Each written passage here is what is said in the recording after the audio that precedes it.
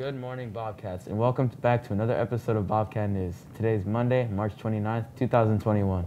I'm Sammy Lahik. And I'm Charles Collins.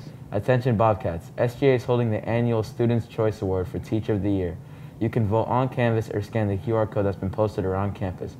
The ballot is open now and will close today at 4 o'clock.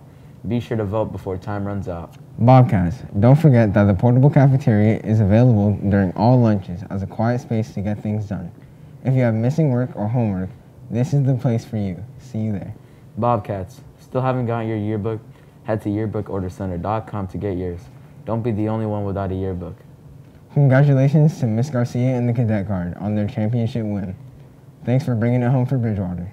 Now on to Gianna with the weather.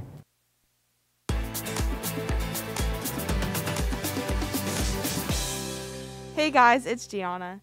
Today there will be sunny skies with highs in the 80s and lows in the 70s. Here's what's happening throughout the week. Expect more warm temperatures with cloudy skies. Now it's time for another joke of the day. How does NASA organize a party? They plan it. Now on to Joseph with sports.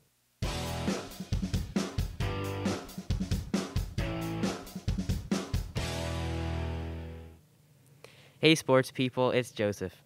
Ready for another exciting game on the soccer field? Plan on coming out this Wednesday to support our players. You can also mark your calendars for April 7th and April 14th. Come join the fun. Bobcats, basketball tryouts are here. Girls will be today until the 30th, and boys will be March 31st until April 1st. All tryouts will begin immediately after school in the gym. Make sure that you have the correct paperwork completed so that you can participate. Now it's time to throw it back to our main anchors, Sammy and Chaz. Thank you, Joseph. Attention teachers, please make sure to turn off Bobcat News after this broadcast. Thanks for watching Bobcat News. Make sure to wear your mask and a social distance and, and have a great Bobcat day.